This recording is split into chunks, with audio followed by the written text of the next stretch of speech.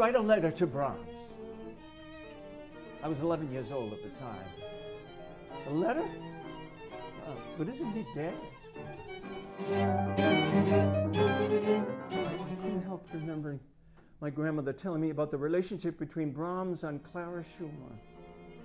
Uh, and I couldn't help comparing my relationship with Miriam to theirs. 19 years old is a perfect time to identify with 19th century romantics.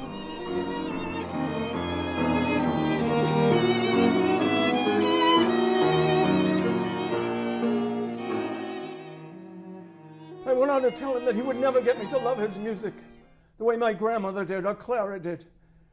I told him that I didn't want to have anything to do with music anymore.